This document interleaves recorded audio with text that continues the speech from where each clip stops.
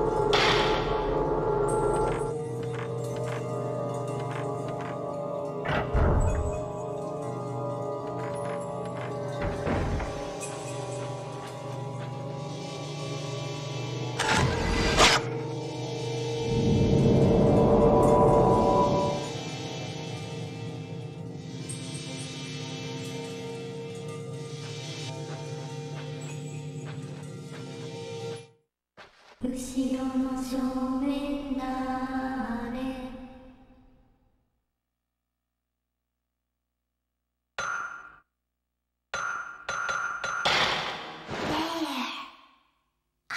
I know.